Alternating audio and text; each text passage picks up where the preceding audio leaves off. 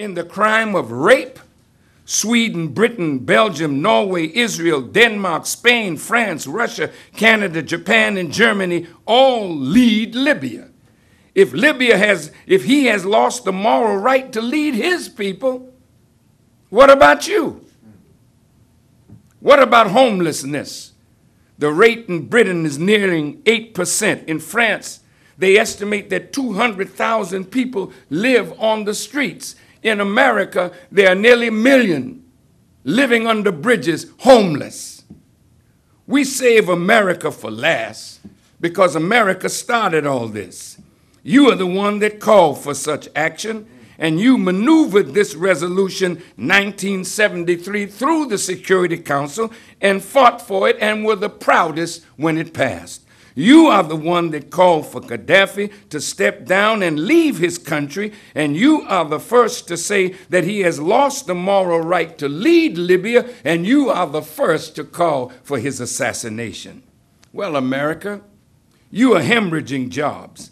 Nearly 8 million jobs were lost in this latest recession. America now has 15 million unemployed, and when you add to that the underemployed, it comes to nearly 20 million Americans. 44 million Americans now live below the poverty level, and that is rising. A full one third of American families tasted poverty for at least a couple of months last year. That's a hundred million Americans and the number of households collecting emergency food aid is now nearing 6 million. Approximately one in eight, million, uh, eight American people are, lo- are using food stamps. 3 million U.S. properties went into foreclosure in 2010 alone, a record high. And the number of families in homeless shelters or forced to live with extended family or friends is nearing 1 million. 50 million Americans have no health insurance, and that's 17% of the total U.S. population. 68 adults in America die each day in the U.S. due to the lack of health insurance. And what about your veterans, America? Those whom you send to fight your unjust wars. How do they fare when they return home? The Pentagon says that one in five American soldiers are returning from the war zones with some form of traumatic brain injury. Still, others suffer emotional trauma. About 130,000 veterans become homeless each year in the United States, and more than half are black and Hispanic. The Veterans Administration estimates that 107,000 veterans are homeless on any given night. Suicide rates, divorce, and drug dependency are alarmingly high and worsening among America's veterans. Your infrastructure is even worse off than your citizens. A full one quarter of the nation's bridges are structurally dangerous. Seven billion gallons of clean water leak out of your crumbling pipes every day, while billions of gallons of raw sewage pours into your lakes and rivers. According to your engineers, it will take $2.2 trillion to fix this problem. Your record, America, stinks in the nostrils of God. You who, in the name of humanitarian efforts, want to save the population of Libya, save them from whom and from what?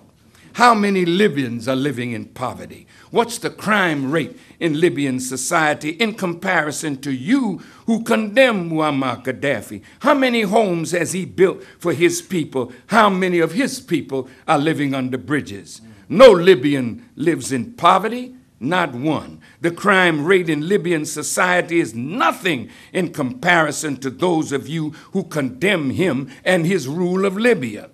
He has built hundreds of thousands and into the millions of homes for his people. No Libyan is homeless. No Libyan is living under a bridge. Why are you angry with him? What has he done? to bring down on him the wrath of the West.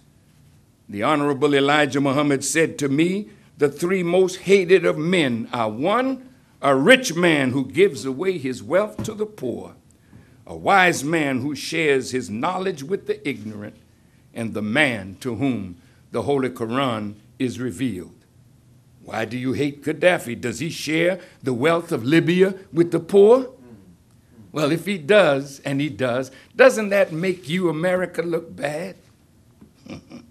You are the richest nation on the earth, and you've got 44 million people living in poverty, bread lines, food lines, food stamps, children suffering in America, but you want to talk to Gaddafi about humanitarian concerns? Gaddafi believes that economic democracy can only be achieved when the GDP of a country benefits all its citizens and when the country's wealth is dispersed to every single citizen. One journalist who lived in Libya wrote of the accomplishments Libya has made under the leadership of Muammar Gaddafi. This uh, journalist is Brother Gerald A. Pereira from uh, Guyana. Listen to what he says and see if you can defeat the truth of what he has said.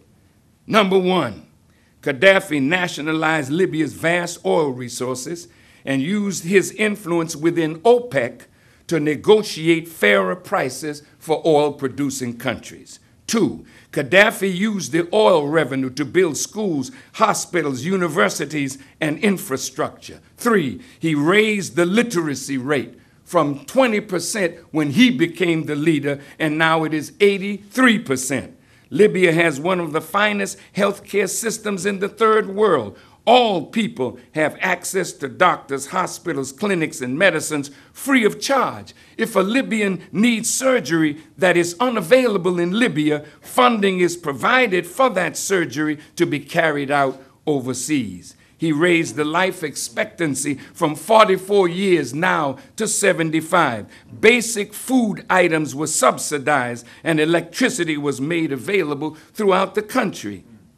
He spent billions on the man made river where he brought, his engineers brought water up out of the desert. And now pipelines run from Benghazi and Tobruk almost to the door of Tunisia. This man has set up irrigation projects which were established in order to support a drive toward agricultural development and food self sufficiency. Any Libyan who wanted to become a farmer was and still is given free use of land, a house, farm equipment, livestock, and seed. Gaddafi vowed that his own parents, who lived in a tent in the desert, would not be housed until every Libyan was housed. He fulfilled that promise. Under Gaddafi, Libya has now attained the highest standard of living in Africa. Listen to this money from Libya's oil revenue is deposited into the bank account of every Libyan. Women have full access to education, employment, and he has enabled women to serve in the armed forces. This is most important. Gaddafi was the first and only leader in the Arab world to formally apologize for the Arab role in the trade in captured Africans. Gaddafi acknowledged that the black Africans were the true owners of Libya and proclaimed in his green book the black race shall prevail throughout the world. Pereira writes imperialists fear a united Africa which would completely alter the balance of power globally.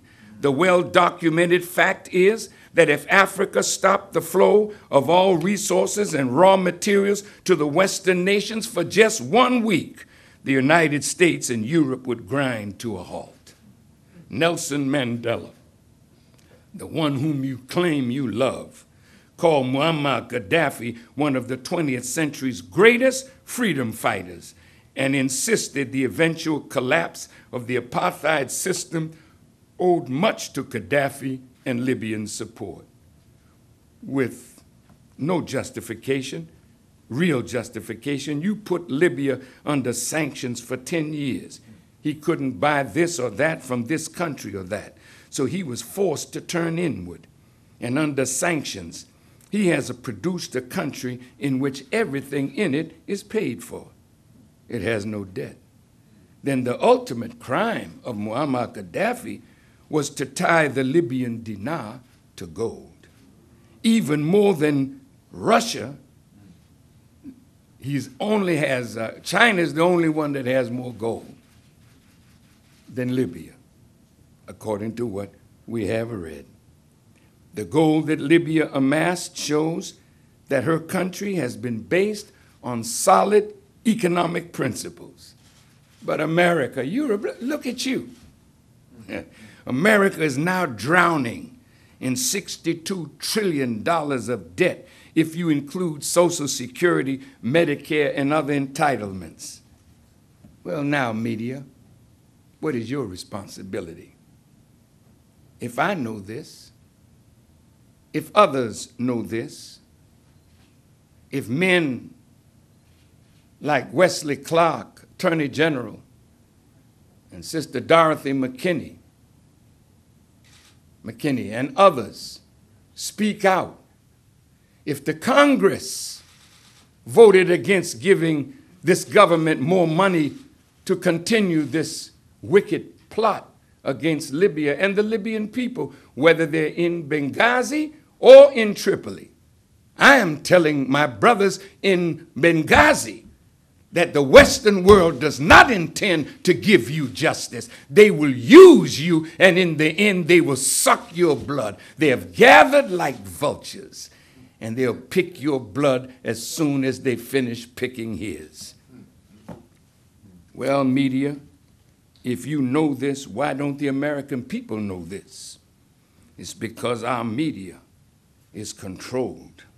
Management of the news to support policies that are wicked. This was done in the lead up to the war in Iraq. If truth were given to the American people, the American people would never have supported these policies. You are no longer a free press, and you are doing a great disservice to the American people. And I am warning you, you will pay a price for this because the American people can only be lied to for so long. But it is written in both the Bible and the Quran. In the Bible, it says everything that is done in the dark will come to the light. And in the Quran, it says, though it be the weight of an atom hidden in a rock and buried in the earth, yet will Allah bring it forth. So your days of lying are over. Your days of deceiving people all over the world are over truth will come out in the end, and it will cause a revolt in the American people against all these institutions which have misused and abused their loyalty and their love for the United States of America.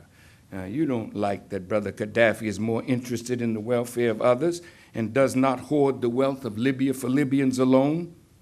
He began to show his people why they should be concerned for their neighbors and the suffering of their fellow neighbors, whether it is in the Arab world or in Africa or in other parts of the world. He made his people through the Green Book international in their thinking. In 1999, Muammar Gaddafi decided to foster the ideas of Assaghifo, Kwame Nkrumah of Ghana, and Gamal Abdel Nasser of Egypt for a United States of Africa. This created great concern. Among who? America, England, France, Italy, Germany, Canada, all of you that have sucked the blood and continue to suck the blood of the poor and weak of this earth. What was your concern about that? If there were United States of Africa with one central bank, with a transportation system that tied all these nations together with one language that they would adopt and as the official language of all 53 countries, with trade between the states and with those outside of America, with one great army, and they're getting a decent price on the world market for their tremendous resources, then there would never be a poor African, an uneducated African, an African living in the bush when that African would now be able to live in a decent home, having a decent quality of life. This is what Muammar Gaddafi was doing. And the moment he started fostering the African Union as a step towards a United States of Africa, Europe and America came up with NEPAD, the new partnership for Africa's development. That was not working because the countries that you singled out for NEPAD were the strongest in Africa, and you made them promises that you really never intended to deliver. I want to quote to you from the Holy Quran in the chapter 14, verse 22. It says, And the devil will say, when the matter is decided, you figure out who that is. Surely Allah promised you a promise of truth, and I promised you, then failed you. And I had no authority over you except that I called you and you obeyed me. So blame me not, but blame yourselves. I cannot come to your help nor can you come to my help. I deny your associating me with Allah before. Surely for the unjust is a painful chastisement. But America and Europe came up with another scheme that Muammar Gaddafi rejected. You wanted to separate the nations of North Africa and unite them with the nations of Southern Europe into a new kind of configuration of nations. All of this to undermine and thwart his efforts to unite Africa, that Africa may come up into the world as an equal partner in world politics, world education, world economics, and world religion. Muammar Gaddafi came up with a system that suits the Libyan and African people, not your parliamentary system, not your system of so called democracy. You, with your arrogance, think that the people in the Middle East want your democracy when the American people don't have it themselves? And what little they have, they are now losing it with the Patriot Act and uh, the country being under national emergency since 9 11. You America throwing stones and hiding your hand as though you are innocent of criminal activity, and the nerve of you to put people before the International Criminal Court. How many nations, America, have you seduced to sign a document that they will never bring an American before the ICC? Is there some racism involved in who you put before the International Criminal Court with a record like yours, with a record like Israel's, with a record like those? Why don't any of you and the Israelis, for what they did in Gaza, what they did in Lebanon, why don't you bring them before the court? Because America has a veto. It'll never happen. I think there's some racism involved in this, since all the cases that you've prosecuted are Africans why aren't any one of you before the International Criminal Court? Is this why Muammar Gaddafi, when he came to the United Nations, called the Security Council the Terror Council? Since this Security Council and this United Nation was established in 1945, you said you wanted to bring peace in the world. But there have been 65 different wars since then, and now many more are arising as we speak. Is this your work? then why should we have a United Nations when you have failed to bring about what you said you would bring about in your charter? So has the United Nations lost its legitimate right to exist. In the park across the street from the United Nations, there's a wall with the inscription from Isaiah the prophet that reads, They shall beat their swords into plowshares and their spears into pruning hooks and nation will not lift up sword against nation, neither shall they learn war anymore. So your hypocrisy is engraved in granite. So when you look at it and look at the actions of the United Nations, you tell me, is that a worthy institution mm. to continue? The preamble of the Charter of the United States Nations claims that it was being formed to save succeeding generations from the scourge of war. But Brother Gaddafi said, quote, terrorism is not only the terrorism of Al Qaeda, the status quo is terrorism. As for now, the Security Council is a feudal security, a feudal policy for permanent members. It protects them and it uses it against us. Hence, it should not be called the Security Council, rather, the Terror Council. Since the Security Council was established in 1945 and until now, it has not provided security for us, rather, provided punishments and terror. Has the United Nations lost its legitimate right to exist? Shouldn't this institution be done away with or completely reformed? But who's got the courage? Who's got the strength? You are weak and cowardly, and you deserve what you get. America is ruled by special interests, not by the needs, rights, and interests of the American people. And you dare to say that the Arab world that is rising wants your democracy? No.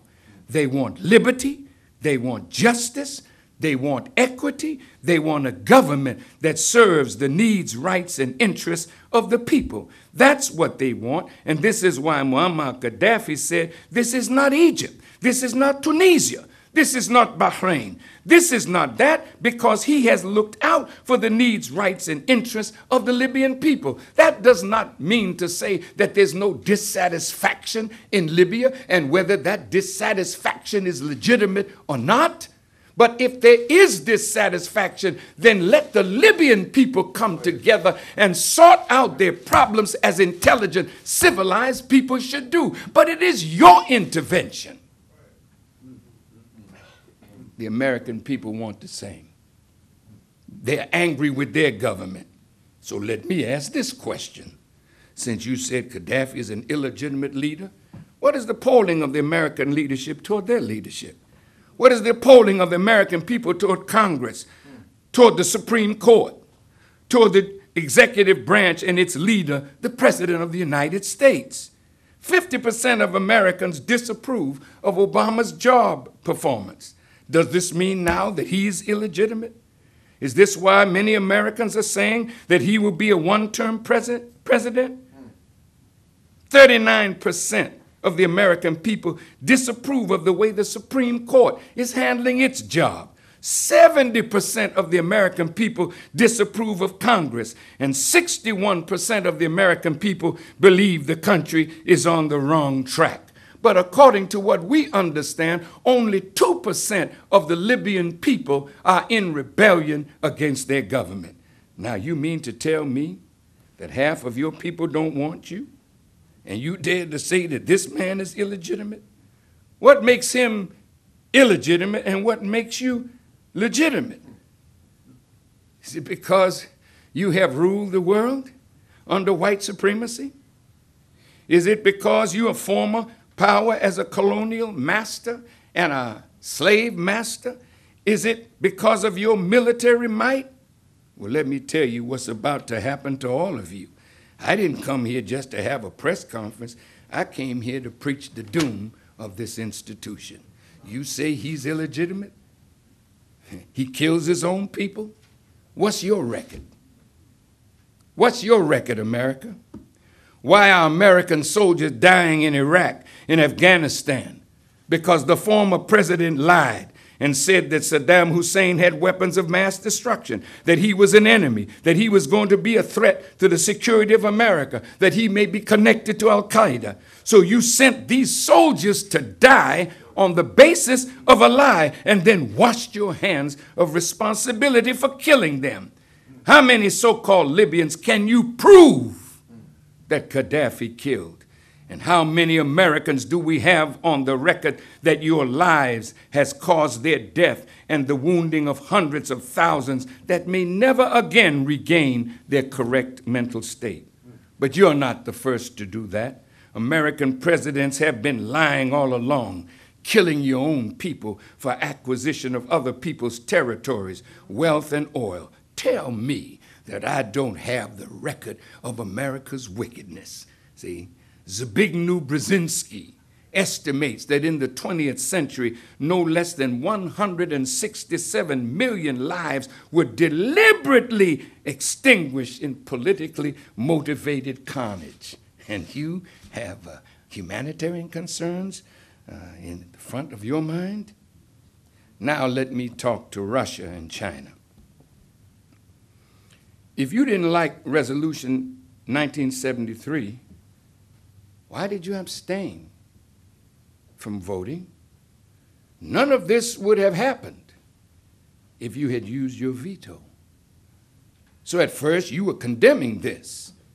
Now you have joined the voices, voices of the West asking Gaddafi to step down and claiming that he no longer has the moral right to lead the Libyan people. And you said that if he steps down, you will be his protector? That's a joke. Has the West promised you Russia and China some of what they intend to steal from Libya? And I say to my brothers and sisters in Benghazi, if you think they're not planning to use you to steal what's under your foot, not for your benefit, but for the benefit of the Europeans that you will have to praise if you come to power. Ah, their game is always the same. They have never changed, and they have not changed now. The snake may have shed the old skin, but the snake is wearing the same new skin, just looks fresh, new. Well, China and America, I'm sorry. If you thought it was wrong, you had the right to bring it back before the Security Council. And you still have the power to do that because you are strong members of the Security Council and you both have the right of veto. The poor African Union, they're today debating will you listen to the African Union, who has a legitimate right to ask you to stop the bombing of Libya? Will you listen? I doubt it. But now, um, Africa, I mean, America, I'm sorry, China and Russia, you've joined the rest of them. So now you must share in their fate. You may think it's your move, but the Honorable Elijah Muhammad said that the God that is on scene today is so wise, he turns men's mind to thinking and doing as he pleases because he and he alone is Malik Yawmiddin. He's master of this day of requital in which we are now living. So the moves that you now make that make you think you are safe and secure, keep looking at the chessboard. And soon you will see your pieces coming off the table. Your governments will soon be laying in ruin, and some of you who have plotted against the peoples of the world will be seen on the back of pickup trucks driving through the streets of America and the American people throwing stones and raw garbage at you. This is what you're facing. And it is written in the Quran that the mother town should be warned. The Honorable Elijah Muhammad said that the mother town is Mecca itself. Well, what is wrong in Mecca that it needs to be warned? And who will do the warning? So all of you are facing the wrath of God that you talk about, but you don't know him. But you will soon be very well acquainted with him because he wants to make himself known by what he does in America. No foreign power will deal with this country. America will be dealt with by God Himself and His use of the forces of nature. Now, NATO, I know you can check your watch, because I'm not going to stop till I'm finished. I, I really don't care what you write, I don't care what you say. I'm making a statement. You can take it or leave it. NATO and America are trying to recolonize Africa through AFRICOM. My question to African leaders is will you allow it? Out of fear of the so called power of the West, will you bow down and carry out their will, which is against your best interest and the interest of African people worldwide? If African leaders don't stand up today, then you will find yourself facing the wrath of the fast awakening African people. Look at the arrogance of Hillary Clinton, the Secretary of State, speaking in Addis Ababa, the capital of the African Union. That's some gall to go right to us and tell us like children what she wants us to do. See, this is your arrogance and your hypocrisy that will end your world. Let me tell you what she said. It is true, over many years, Gaddafi played a major role in providing financial support for many African nations and institutions, including the African Union. But it has become clearer by the day that he has lost his legitimacy to rule, and we are long past time when he can or should remain in power. What you're saying, Mrs. Clinton, is for yourself.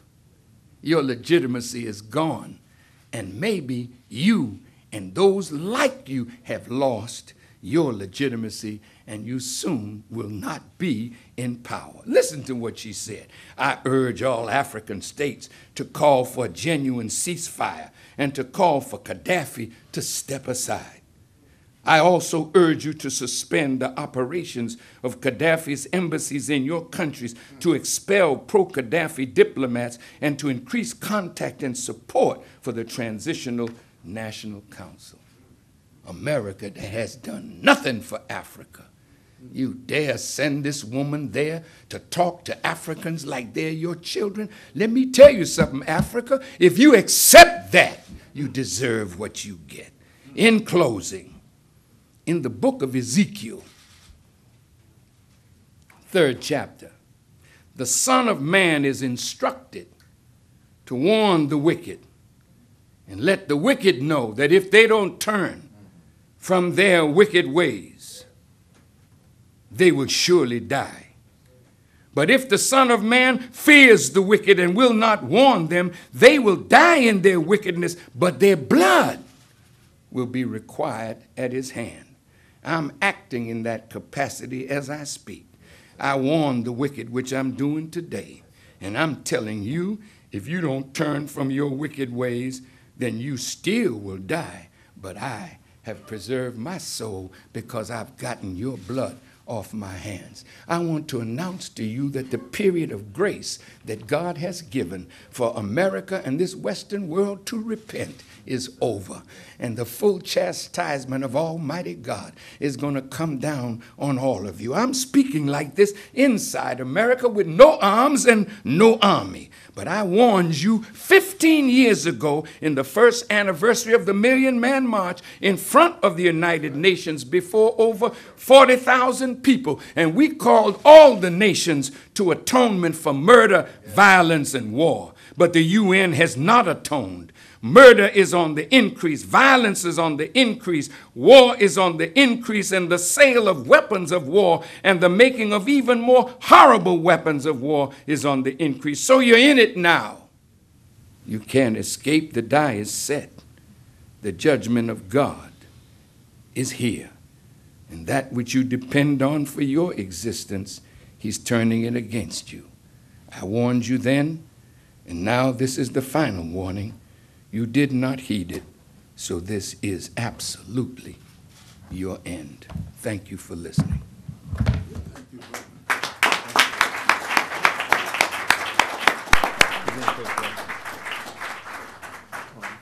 Minister Farrakhan will now take uh, questions. If you would please uh, kindly state your name and affiliation. Um, the minister is, he wrote a letter that uh, to the leader of the Libyan revolution, and he wants to read that letter to you before we start the questions. Be patient for a minute. Thank you. I thought I would make it an open letter because I don't want my government to think that I would be writing their nemesis words that I wouldn't share with you. So you'll never be able to say I did something in secret. So this is my letter to Muammar Gaddafi. Uh, it reads as follows Bismillah ar-Rahman ar-Rahim. Dear brother leader Muammar Gaddafi, may this letter find you, your family, and the faithful people of the Libyan Arab Jamahiriya in the best of health and spirit in spite of the prevailing circumstances. Please accept on behalf of myself, my family, the members of the Nation of Islam, and all in America whom you have helped our deepest sympathy on the loss of life of your son and three grandchildren. It is written in the Holy Quran that no soul dies but with the permission of Allah. We may not know Allah's purpose in permitting what is happening in Libya, But again, Allah says in the Holy Quran, whenever a misfortune befalls the believer, He says, Allah is my patron, and to Him is my eventual return.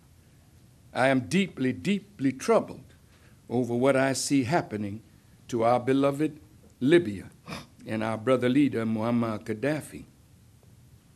We are drinking of the bitter cup of betrayal, which is prophesied to come to us in the last days of this wicked world, to separate from among us those whom Allah God will use in the building of His kingdom, and those who are marked for severe chastisement and utter destruction. I observed those whom you trusted Prime Minister Berlusconi of Italy, President Sarkozy of France, Prime Minister Cameron of the United Kingdom, and President Obama of the United States of America, who have joined forces with the weak Arabs from the Arab League and others to join the enemies of righteousness and justice to destroy you and the revolution that brought about the rise of Libya into her present strength and greatness.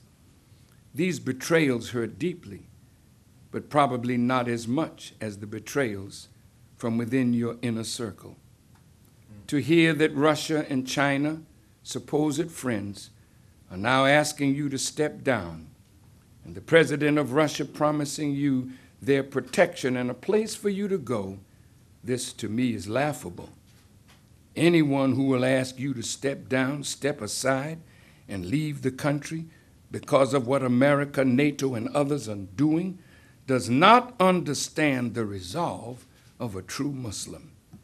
Allah warns us in the Holy Quran O you who believe, take not my enemy and your enemy for friends.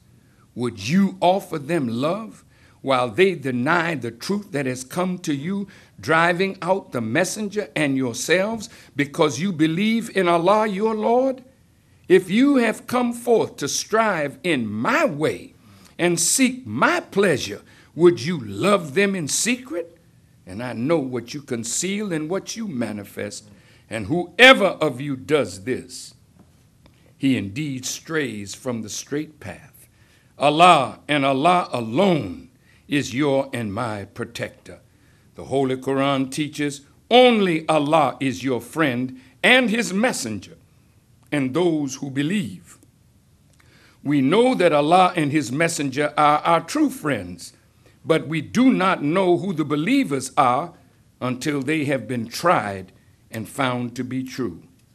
My dear brother leader, in the general orders that we were given by the Honorable Elijah Muhammad, whose desire was to make us brave fighters, willing at any time to give our lives for Allah's sake and righteousness, it states in General Order number five do not quit your post until properly relieved.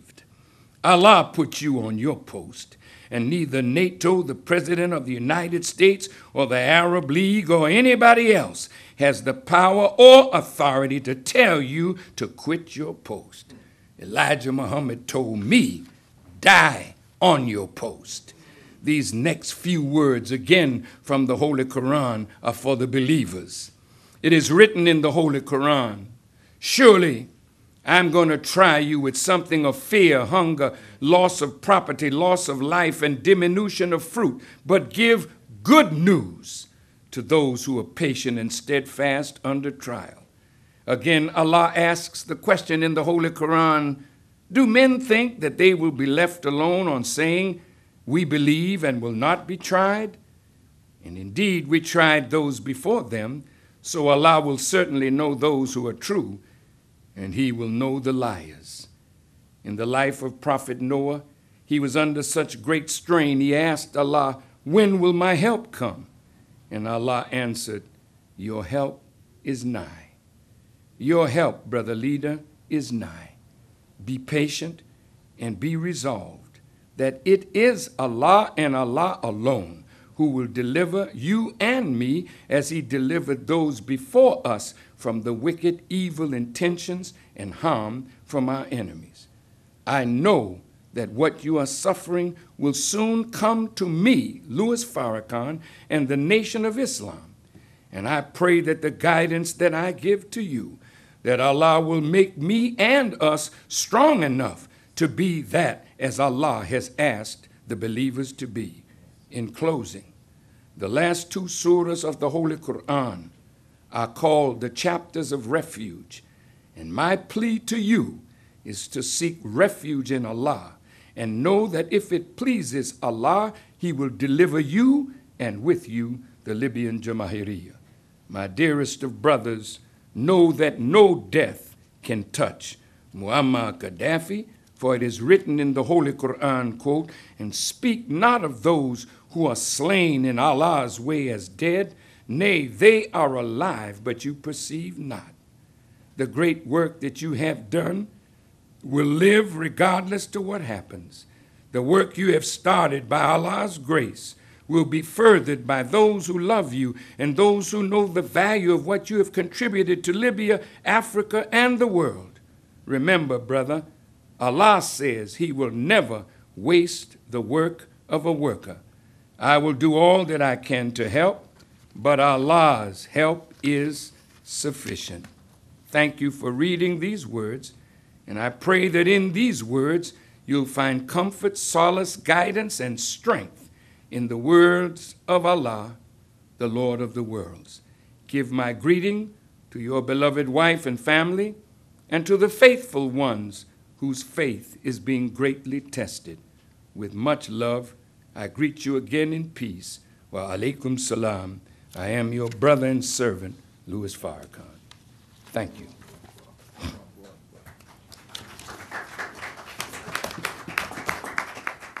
Now you may continue, brother. Thank you very much. Uh, Minister Farrakhan, my name is Nellie Hester Bailey. I am from uh, WHCR Radio 90.3 FM in Harlem and Black Agenda Report, an internet uh, radio program. Sir, uh, despite NATO's uh, being in violation of UN Resolution 1973, and the U.S. Congress cutting off funding for the war, NATO appears to be determined to carry out the murder of Muammar Gaddafi.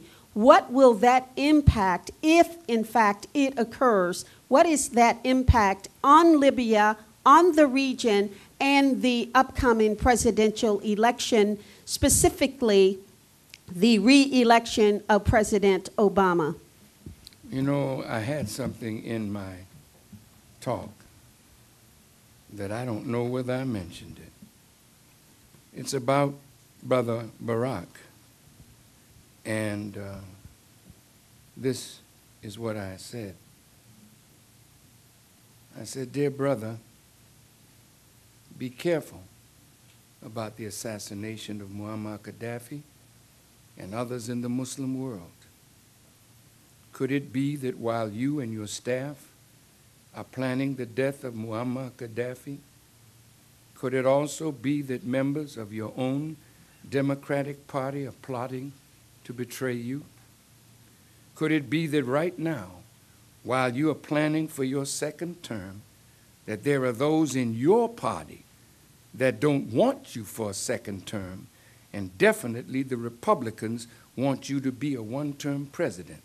So, like Abraham Lincoln, who was prosecuting the Civil War and doubted that he would be reelected, won a second term. But this so angered the opposition that it was then that his own reelection inspired his assassination. Could that be going on right now under your own nose? Think, dear brother, before you act. Because as the Bible puts it, God is not mocked. As a man soweth, the same shall he also reap. And as Obadiah the prophet said, as thou hast done, so shall it be done unto you. If they're successful in killing Brother Gaddafi, this is not going to be the end.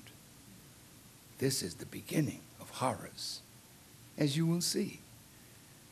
Gaddafi wasn't in some tent twiddling his thumbs. He was working for the good of the African people. The African people will rise. NATO, and I'm sorry, America, I would, I gotta say it, you know, because I heard it from the mouth of the Honorable Elijah Muhammad. Europe is finished.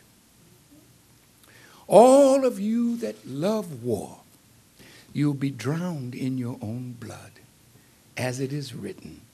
Those of you who love to shed the blood of others, Allah will make you drunk with your own blood as with sweet wine. Europe is headed for war as we speak. Yes, England, France, Italy, Germany. The Honorable Elijah Muhammad told me that at the right time to tell you that Europe is the graveyard of the future.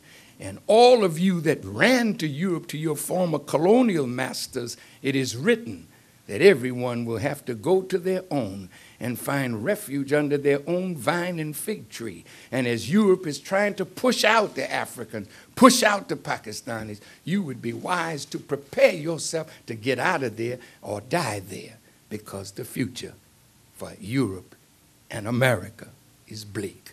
Very, very bleak.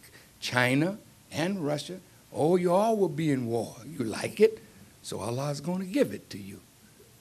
You'll have war soon. Mark my words, not my words, the words of a man who was taught by God, and you will face every word that he spoke. And you remember what you heard today that a man, a real man of God, was in your midst. And every word that I speak, you will face it.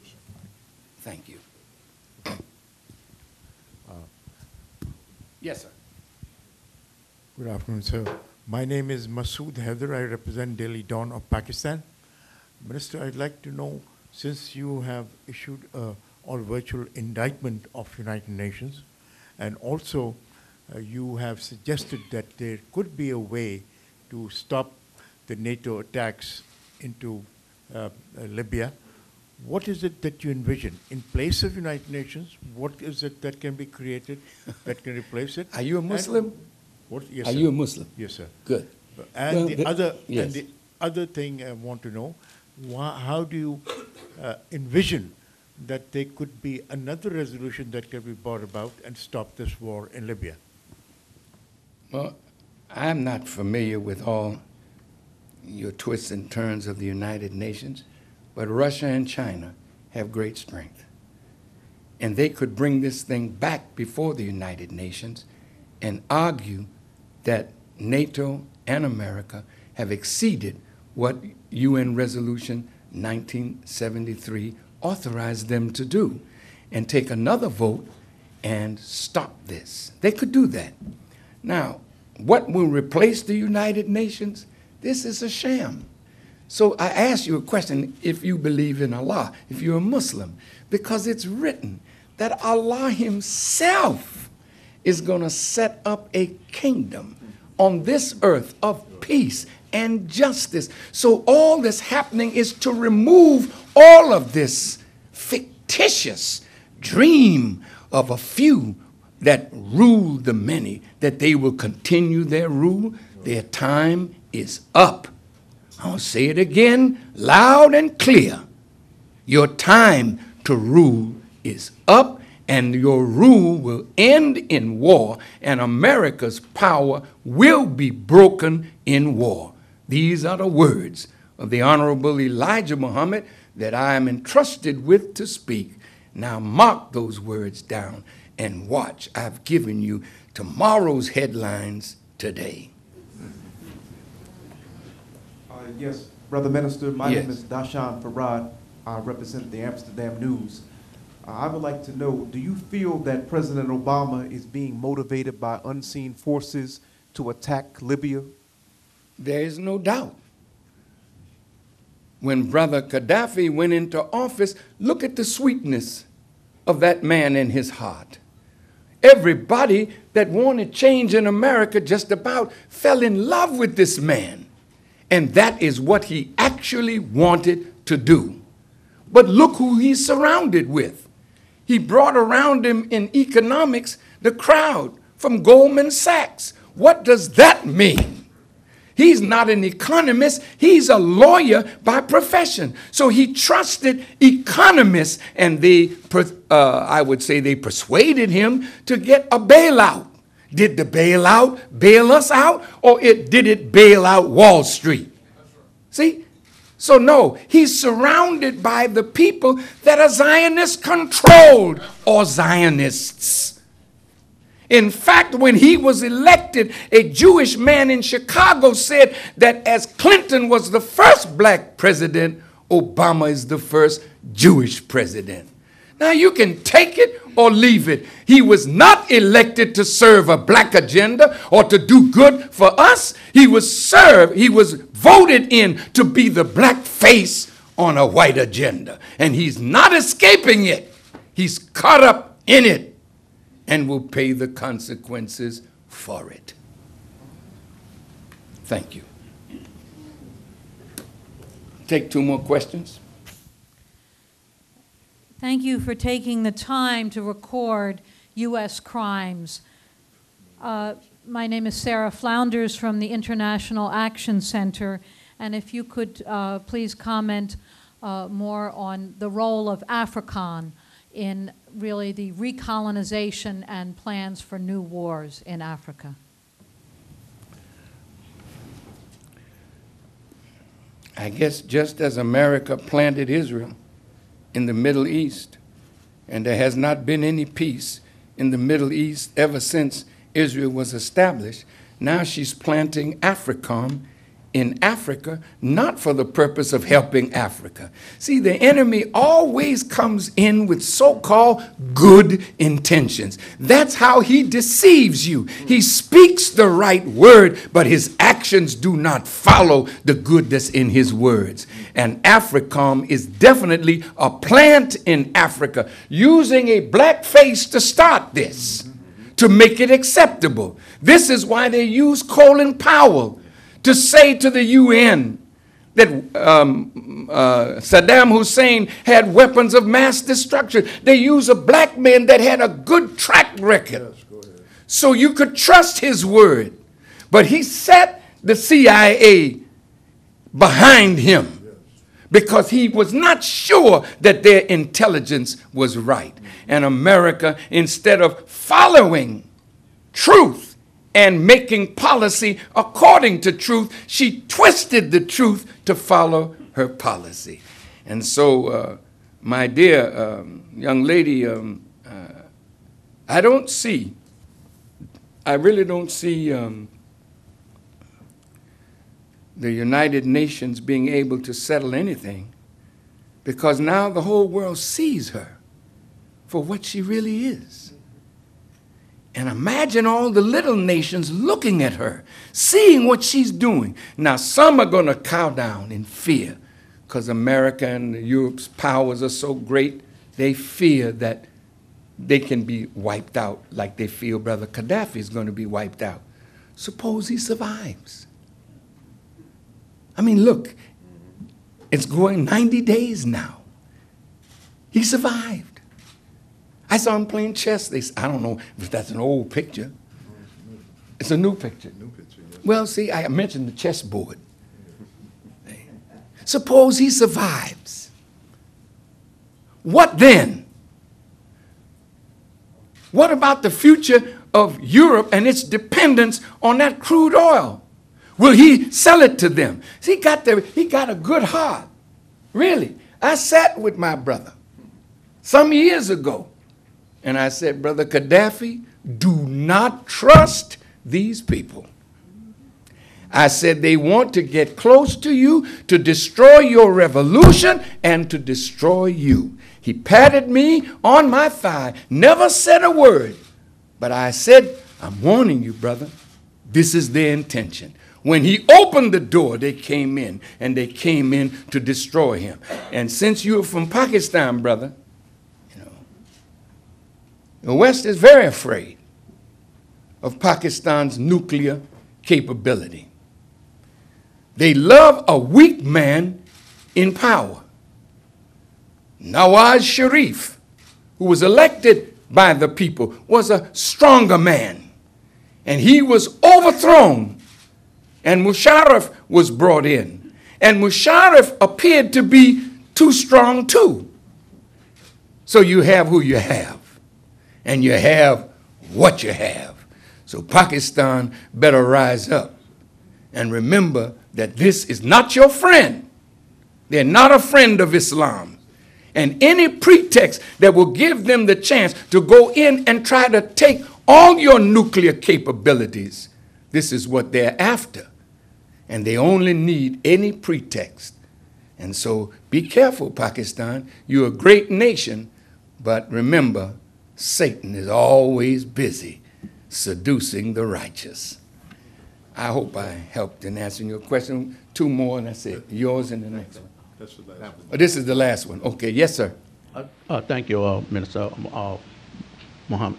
Uh, My name is Donald Wingfield. I'm with the Black Star News. Uh, You already have given uh, Obama uh, not to, to not to go into uh, Libya, and they went in anyway. What should the uh, African people be doing today, right now, to stand up in the streets to stop uh, this White House to cease and desist from going any further attacks into uh, Libya? Thank you. Since we're coming up on a new election season, and my sister is organizing a huge rally in Harlem. See, we have to stir African people.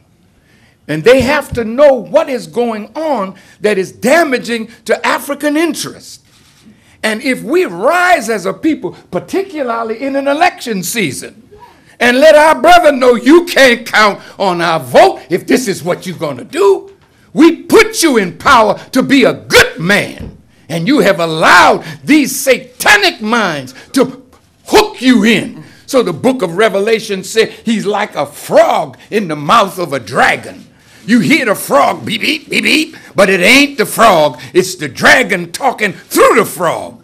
He's not in power. He acts in power, but the powers are behind him. And you ought to know it. Any black man that stands up for white concerns is backed by powers that you don't see, but he feels it. And that's why he acts and reacts the way he does. You better wake up, black people, and not be deceived by the fact that a black man is in the White House. It's great that he's there if what he does there helps us all. He's done something for gays. He's done something for unions. He's done something for this one, something for that one. Let's see what he does for black people and for Africa. Not sending Hillary Clinton to Addis Ababa to tell Africans what to do. The nerve of her. And believe me, if she sent, well, he, he may have okayed it. But who sent her? Y'all better wake up. Thank you. Thank you. Assalamu alaikum. Minister Louis Farrakhan, thank you.